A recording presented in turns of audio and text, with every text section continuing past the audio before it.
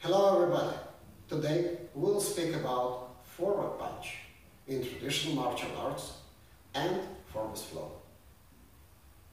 In traditional martial arts, the forward punch mostly will look like that. One, two. So, during this part of the trajectory, we rotate Uh, arm in this direction, then we have to stop immediately and to change everything into the opposite direction. So the rotation and will be changed to this direction, from this to this. We have to stop and bring forcibly our arm back. Everything needs a lot of energy. We have to apply a lot of muscular power here. After the contact with abdominal wall of the opponent, our elbow will produce this kind of movement and this will produce the wave inside the internal organs of the opponent.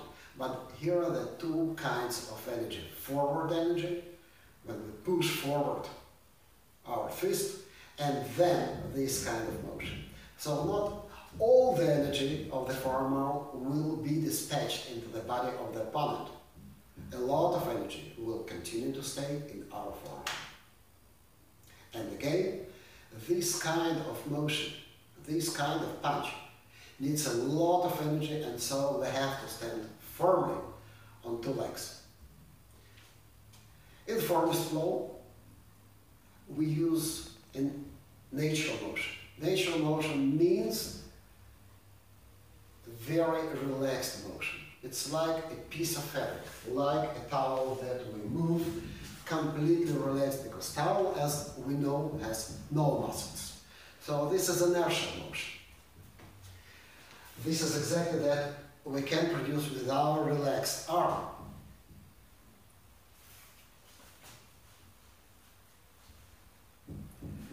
If we do it faster, it will produce kind of whiplash.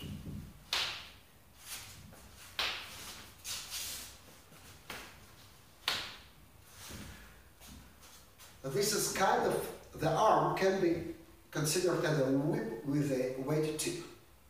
It will concentrate all the energy of the whiplash in very small, very small part of the arm, in the fist.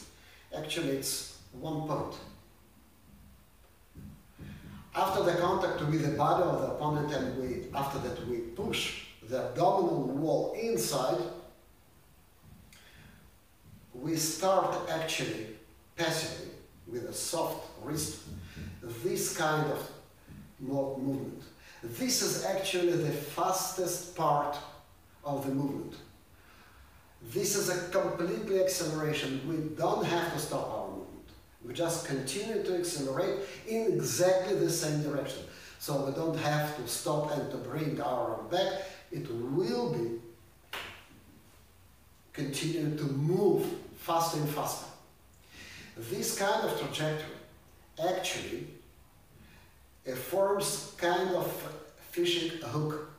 After that we push the abdominal wall of the opponent inside, it comes from inside into the abdominal wall, from inside outside, and strike the abdominal wall, the muscles of the abdominal wall from inside. It will produce tremendous wave inside because this is the fastest movement, this is the fastest part of the movement, and everything is, is concentrated in one direction. Everything is concentrated only in the fist. All the energy will be dispatched into the body of the opponent in one direction, in one point. It will produce the feeling of the snake that moves spiral inside of the body of the opponent. Very importantly, that this kind of movement does need so much energy. We can save a lot of energy.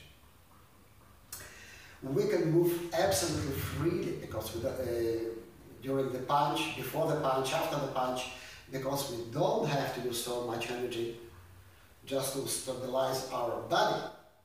So we can move this way and this way. We can combine this punch with other punches. This is enough for today. Thank you for watching. Arrivederci. Ciao. Namaste. Shalom. Trust yourself. Think for yourself. Be yourself.